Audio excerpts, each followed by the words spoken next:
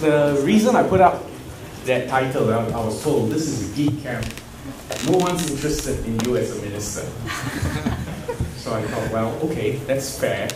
And uh, then the next thought that struck me is that, well, I've never been to school of computing. Uh, I don't have an electronics degree, I have a medical degree, I used to be an eye surgeon. And uh, what could I possibly share?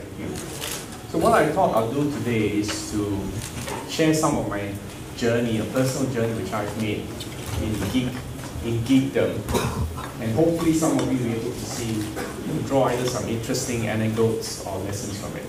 So if I can go on to the next slide and I'll explain why the title very short.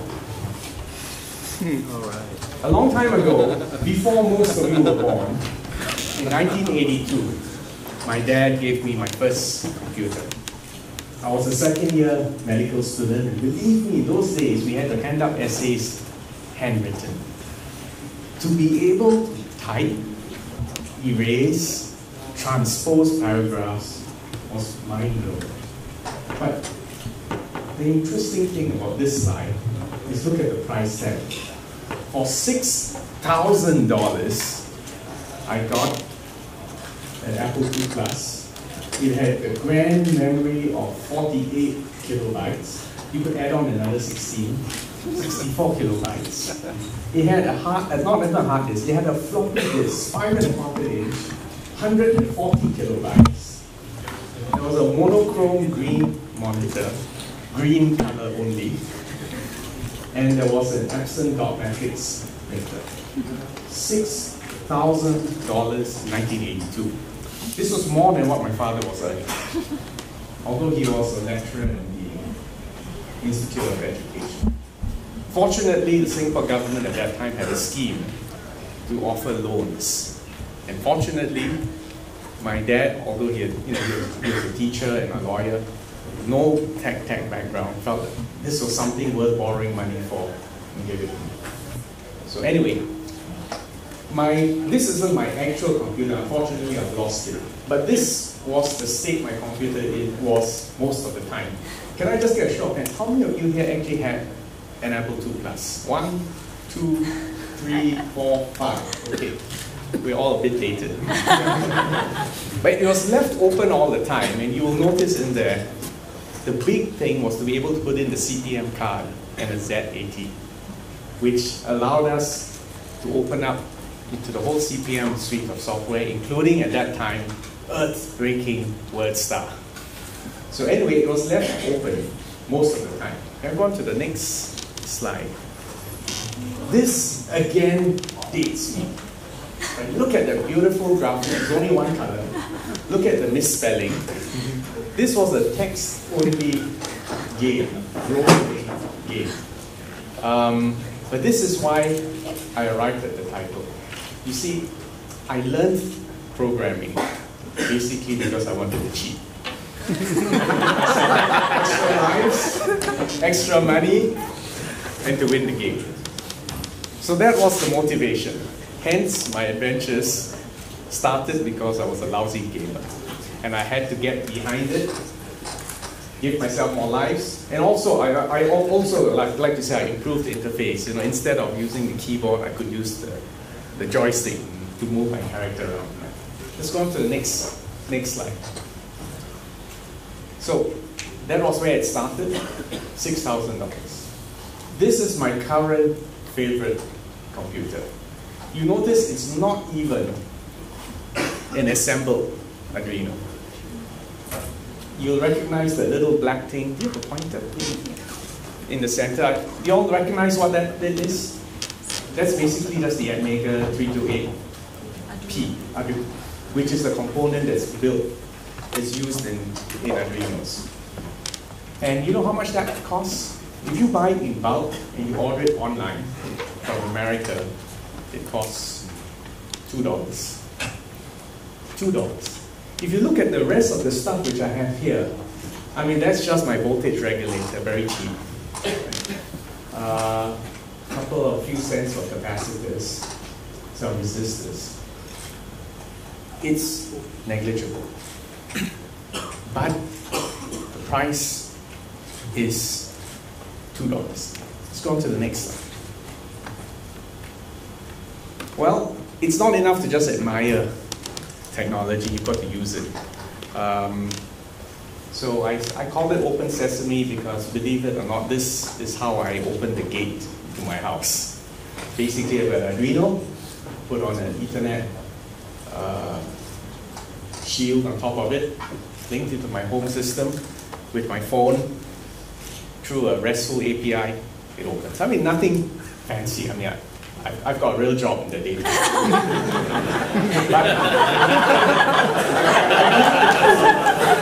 but I could do something with the toys. Otherwise, my wife would, be, would never get off my case. Next. These are my new cars. So after you, you bought something you can program, and after you found that you can connect it through the internet, through relays, start opening switches and remote control, including switching on and off your air conditioners. The next thing is mobility. And this is not totally a joke because I think it's, you, you are familiar that we are seriously exploring in Singapore the concept of autonomous cars. We may not, we are not the inventor of autonomous cars, but because of the peculiar challenges that Singapore faces of congestion, of the world's highest priced cars, there is a real benefit to us if we can improve transport systems, both public and private. And if you think about it, our public transport system, the SMRT, some of those lines are already driverless. So for us, when we say we want to go autonomous, what we're trying to do is we're trying to solve a real problem that we have, offer ourselves as a prototype. If it works, we upscale it, it becomes a national solution. Next. The latest thing I'm trying to work on, and this is, uh, Luther is somewhere around 12 geeks. Uh, I found him by accident about two weeks ago. Because basically I was looking for a better wireless control for my Arduinos. Uh, before I get to do that, I should give another publicity to another Singapore company that makes this thing called the Anakin Andy. Have you all heard of it? Anakin Andy, if you don't, let me just show it. I got to. Uh, that machine, right?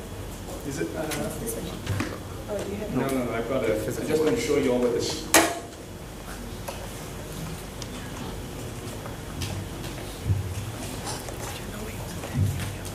Yes. That's one. So it's Anakin Andy. They- make two versions of it, both Bluetooth. This latest version is Bluetooth LE. So it also works with Mac, uh, iOS and also low energy. So anyway, that's one way. So I stumbled onto 12 geeks because was trying to look for a Wi-Fi system. And he sold me this thing, it's called the E ESP8266. Uh, I won't tell you how much he charged me, but I went to check on the internet. you order it in bulk online. You can get it for less than US five dollars. no, no, no, but he didn't charge me much more than that, and I'm always faithful. Don't worry. um, what I've been working on, and I won't be able to show it right now because it's still a bit buggy, but you saw my breadboard Arduino just now. So let's say two or three dollars you add five US dollars to this. You now have a Wi-Fi system. And by the way, it works both as an access point as well as a client. You can now control it either as an intranet or you open the ports on your router on the internet. Now just think about that. If you've got processing power and connectivity, at negligible sums. You can literally throw these pieces into anything that you see, that you want to measure, or that you want to control. You know, the, the point I'm, I'm driving at is that the costs are going so far down that many possibilities open up. Next slide. Now, we've talked about the cost of computing, and my theory, my hypothesis is that it's trending to zero. What about the cost of connectivity? we've talked about Bluetooth, talked about Wi-Fi. There's of course 3G, 4G, and other stuff coming up. Uh, I think Sigfox is another system we're looking at. And my question to all of you is, does anyone here still make an IDD call? You must be doing on an office account. so, the, so the second factoid is that the cost of connectivity is also trending to zero. Next. Not only is computing tending to zero and connectivity tending to zero, unfortunately these phones are not free, not yet. Well, actually they are you are con city enough to sign on a contract. But the key thing about phones uh, is that everyone has them, it's with you all the time. And there's a whole range of sensors which are on. Most of the time, I bet most people aren't even aware of which sensors they have and which sensors are on or off in there. Now, that again is another revolution because it is about mobile computing, personal computing, always with you, always on, always connected, and again the cost driving to zero. Next. This is another side project I worked on a couple of months ago. And this has got to do with mesh networks. I don't know if anyone is working with it. And basically, that until today, we have tended to think of telecommunications like the way we do electricity and water, which I'm familiar with, which means there's a central authority, there is a central node, and everything flows to the center, and depending on how good the center wants to be, they'll disperse services to you and charge you for it. But if you now have a world where everyone and every place and everything has got computing power, is connected, and is on all the time. I think the next revolution is a complete decentralization of so-called utility services. So mesh networks comes into play. Because you see, all of us, all of us have phones. I don't know how many routers there are lying around, or Wi-Fi points that are lying around if everyone just bothered to share and to open up, of course security has to be addressed, but you open that up, you realize you don't even need, you know, the telecoms uh, network because you've got a mesh network. So anyway, I tried that, compiled it, put it into the router. Uh, I got it to work at a local level, but of course, the problem is since my neighbors aren't on it, it doesn't get very far. Right? But there's a lesson there that if you really want to get to a world that's decentralized, you need cooperation, you need trust, and you need security. Otherwise, these you know, remain pie in the sky ideas. But on the other hand, if you actually really get a disaster, a collapse, a typhoon, an earthquake, or networks go down, mesh networks, and I think this, this was demonstrated in a small way in Hurricane Sandy in New York. So watch this space. Next. So the point I wanted to make from illustrating all this is that money is not the limiting factor. So don't come to government and say, I need lots and lots of money. Because money is not the limiting factor. Even if you were you needed enterprise services, with Amazon Web Services, you know, you, you just buy service as a service. You buy connectivity. The point I'm making is that the real rate limiting step is not money, it is your ideas, your mentors, your peers. And that's why an assembly like this is so crucial. Because this is where you can share ideas, refine ideas, work with other people in allied disciplines. And hopefully, even if you're looking for investors, you're not looking for dumb money, you're looking for smart money.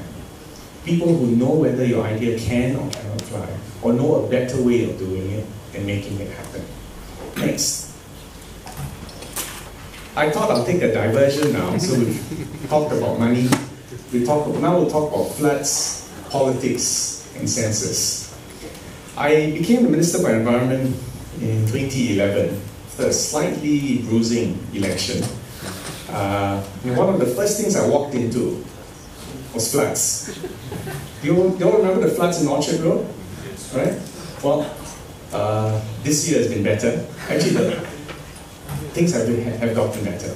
Uh, of course, you will say I'm self-serving, but I will tell you, no, you know, we have, we're spending a lot of money, I was putting a lot of engineering, improving drainage systems, building detention tanks, changing building codes, raising levels, all those things.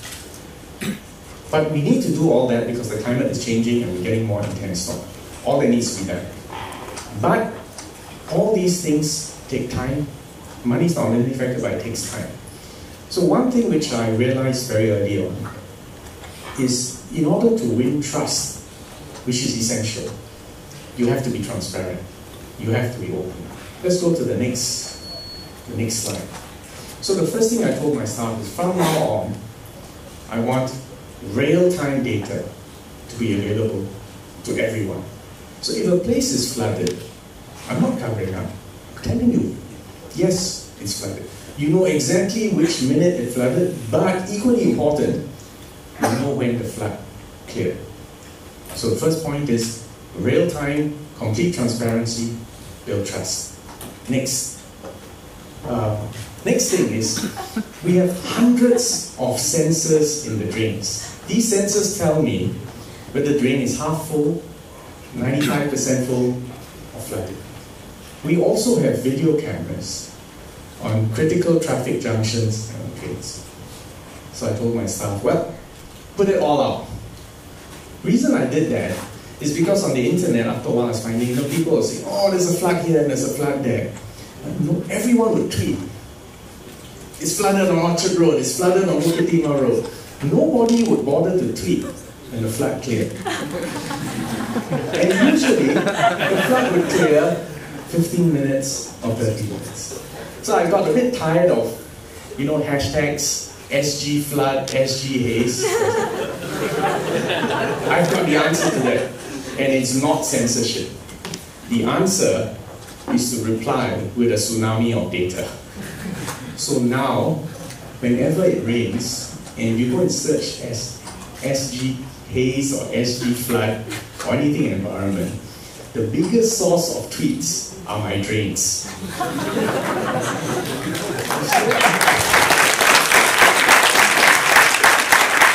what does it shows that I am not hiding, and I'm open, and this it, you will have access to an authoritative source of data. So look out for these tweeting drains. Next, another important point, and this is something which I've emphasized to my staff repeatedly. You know, people complain. Sometimes people complain very aggressively, very angrily. Now, if you take a scientific approach to it, take the emotion out of it, every complaint is a data point. Because it's telling the administrator or the regulator that something is going on somewhere at some point in time. So for instance, if you download the MyENV app, one of the sub pages there is for you to report a complaint. Whatever it is, it consists of one click to snap a photo, another click put a description, and because unless you switched off the location sensor in your phone, we know where you took the photo, you upload it, we can deal with it. But that's not all. If you look carefully here, what's not very clear is can you see these little blue bubbles everywhere? Each of those bubbles is one complaint from someone. And it's not just you complain to me, but your complaint is visible to everyone else. This again demonstrates openness. It obviously puts pressure on us to resolve it because everyone can see, hey, that complaint has been there a long time, you haven't fixed it. But we can get it done. More important than that, apart from reacting, patterns in time and space also allow you to anticipate, to plan better, to take preventive action, and to respond in real time. So that's where I joined the dots between sensors, politics, floods, openness, credibility, trust, and improve planning and delivery of services. Next. So, it, and this is another example of open data. And I don't know how many of you are familiar with this site called data.gov.sg. In fact, I should let you in on a secret. The key person who is pushing all government ministries and stat boards to put data on that site, and not only that, to make it machine readable. The key person is not me, it's the Prime Minister himself. He's the one who says, look, if you're going to release data, I don't just want to see a PDF file. I want it machine readable. So that people like Sao Chong using Ruby or R or whatever, you know, using the same thing which you mentioned just now, I think on your talk on sex. the same approach can be used on government data sets. But you see, what's the key idea behind both these things? It's not just to show trust, it's not just to show transparency for its own sake, but the key point is that it is an opportunity for all of you to become part of the solution. Not just the complainer, but to become part of the solution because we are sharing the data and we are facing a common problem and there's got to be a better way of doing things. Alright, so open data must lead ultimately to open solutions, to crowdsource solutions, to community solutions, to local effective solutions. And phenomena subject to measurement, to verification, and to improvement. Next. So this is my last slide, because I think there was supposed to be questions, right? So I'm going to take and I just wanted to leave you with this thought. In a world where cost of computing, cost of connectivity, and cost of sensors is falling to zero, in a world where there's a tsunami of data that's being made available by governments, by individuals, by companies. What does that mean for the future? And in particular, what does that mean for jobs? And I think we're only just scratching the surface. If you think about the Industrial Revolution, it made human labor devalued because a steam engine could work more reliably, more effectively, at moving things around. If you measure the number of people who used to be in agriculture 200 years ago, and the number of people in agriculture today, it was something like 98% before, and today it's probably less than 2%. What the IT revolution really means is that white collar work, routine work, data entry work, even routine data analysis work is also going to be commoditized. And it's going to get cheaper. And the price will eventually reach zero. If you look at the jobs, and I don't just mean Singapore, but all over the world right now, if you are doing a routine job, if you are trying to compete with a machine that doesn't sleep, doesn't need sex, doesn't get distracted, it's going to be quite difficult for human beings. So the question is, how are we going to compete with intelligent systems? Always on, always seeing, always connected, thinking and capable of self-improvement. And my final point I wanted to leave with you is, and, and the reason why I'm here and why I'm a supporter of this movement, is I believe if you just compete with machines, we're going to lose.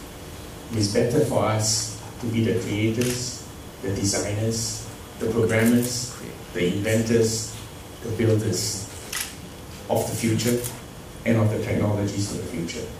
So all of you, you know, in all your respective fields, you are engaged in fundamentally important work of building the future and the way life will be lived, worked, and played in the future. So I wish you all the very best. I'll be happy to take comments, and especially those who disagree with me on fundamental things, including politics. I'll take everything.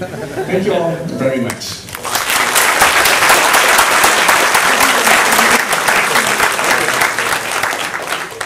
All right, uh, thank you, Dr. Vivian Balakrishnan. I remember one uh, quotation that said that civilization progresses by the number of important functions we can do without thinking about them. That's when the civilization progresses. I'm sure we have a lots of questions from his tech adventures in the evening to citizen urban sensing. So give it away. Uh, can we have the first question, please? We have the mics here. We have a couple of mics. Yes, Kai.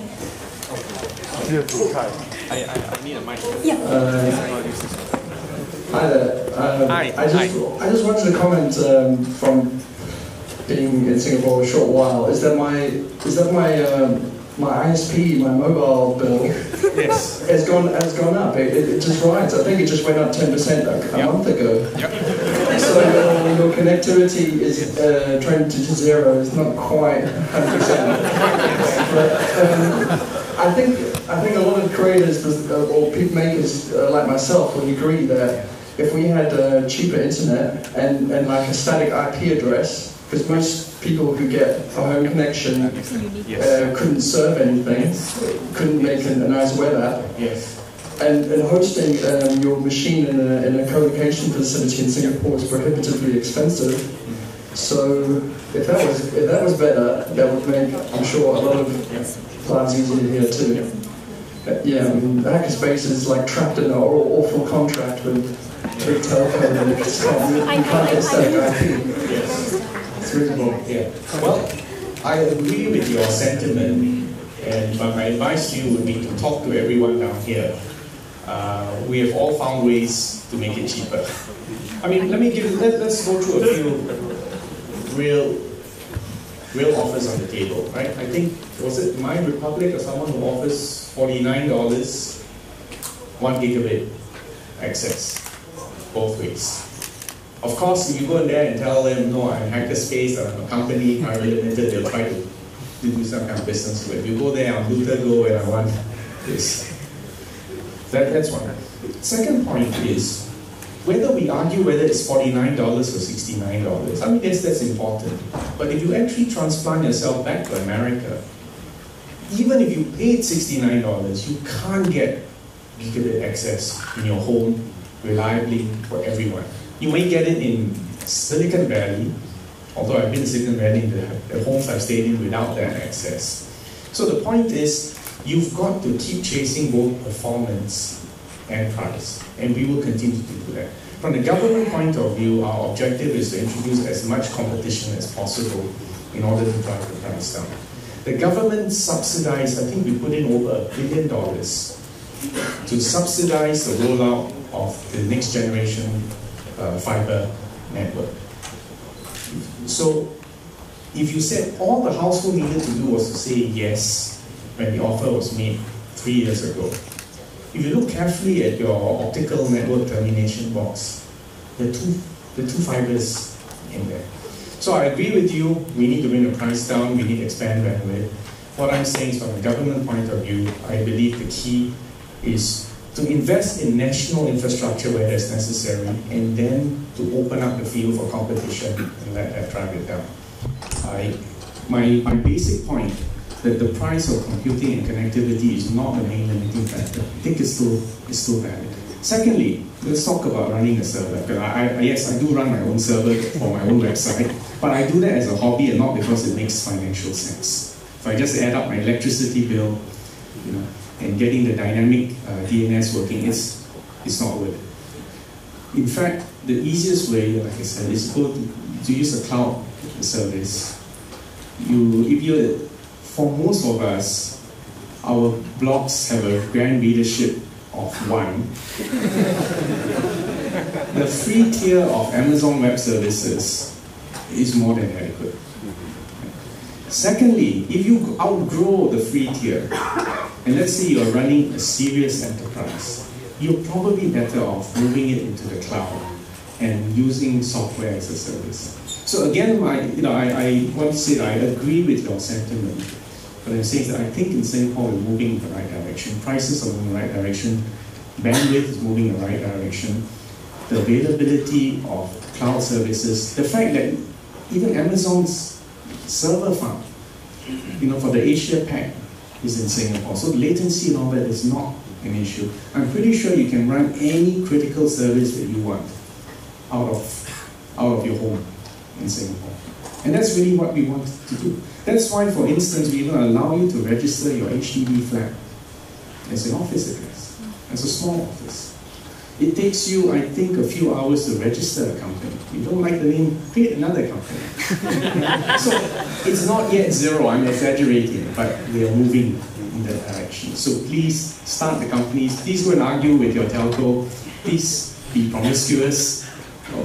You know, there's no need to be excessively loyal on this. But you'll find that because telcos know that this is such a competitive environment, they actually do try to improve the offer. And mind you, we haven't yet gotten to the mesh networks.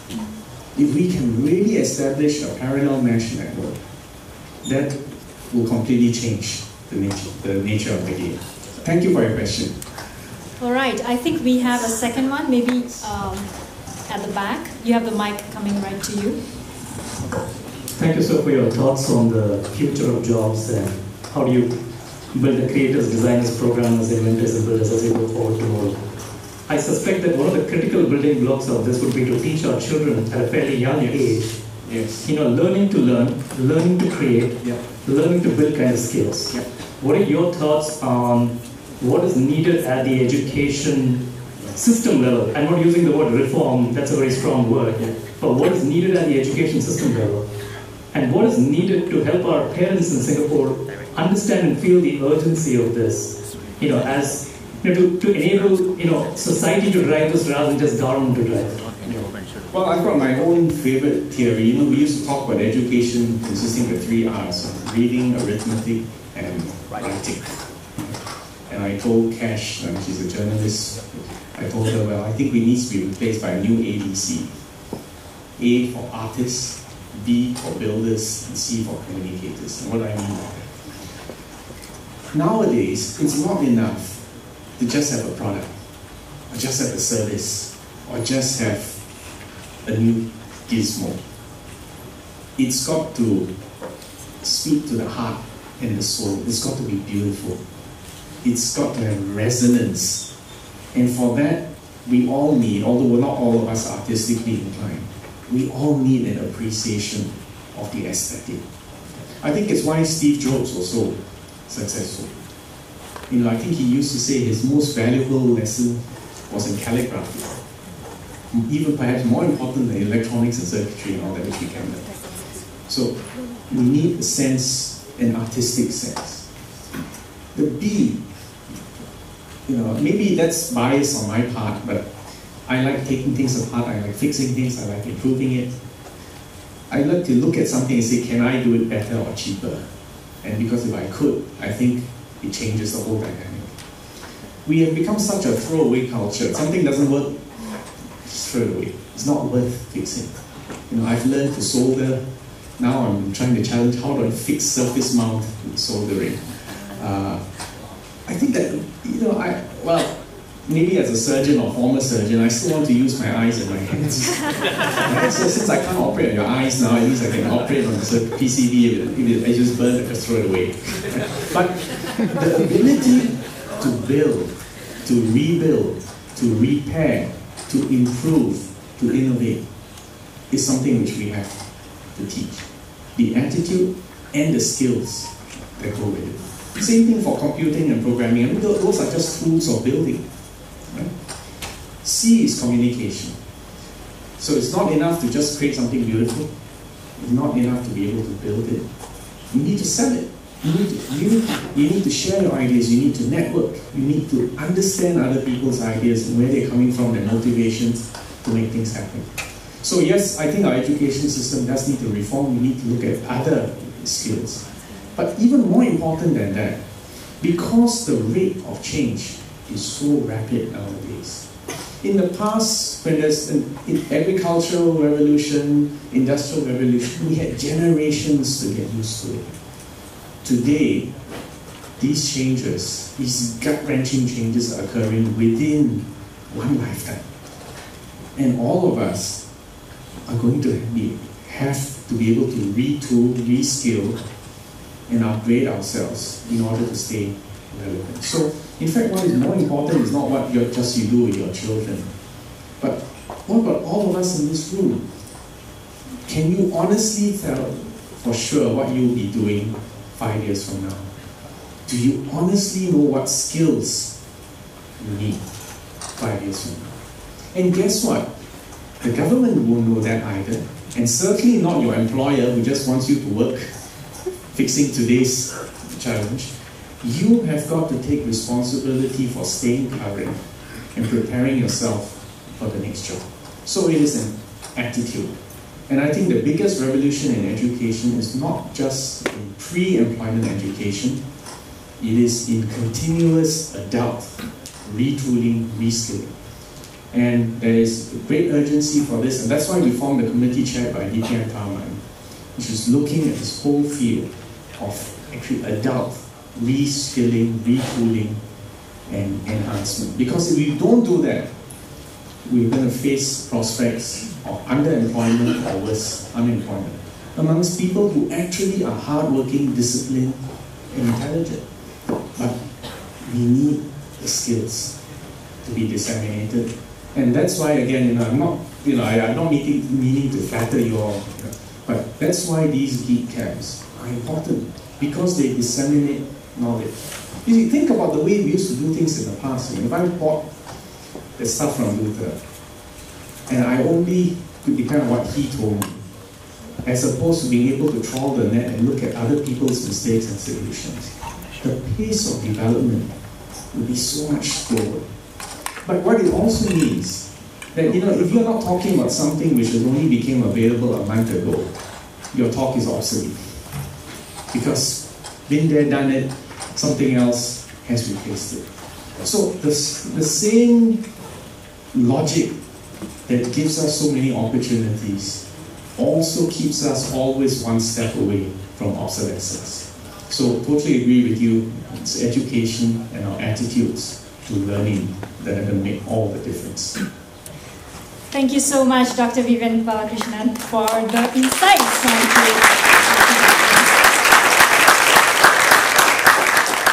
So you will see that uh, the organizers are wearing a Geek Camp t-shirt and as a token of appreciation, we also have that t-shirt for oh, okay.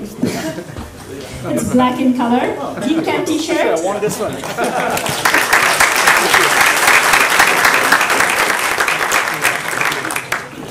Thank you so much. So that was the tech adventures of a minister. I'm sure many of us are also tackling or tinkering with something in the evening. So I'm not so sure whether he'll be around to answer your questions later on, maybe. Right, thanks, Vivian.